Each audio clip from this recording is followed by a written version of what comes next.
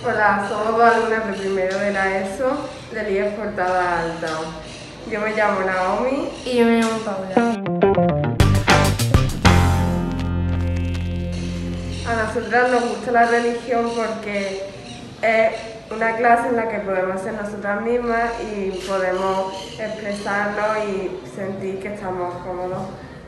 Como ha dicho a mí también me la religión porque eh, aprendemos a expresarnos y aprendemos nuevas culturas y de todo el mundo.